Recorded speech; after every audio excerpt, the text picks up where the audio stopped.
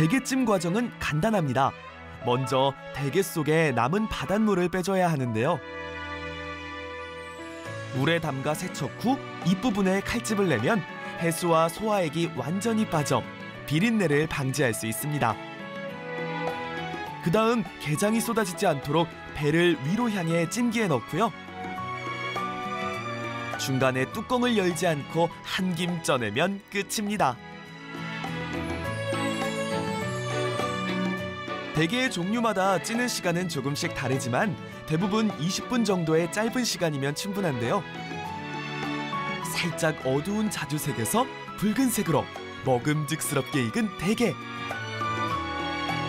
달고 짭조름한 동해의 맛 대게찜이 완성됐습니다.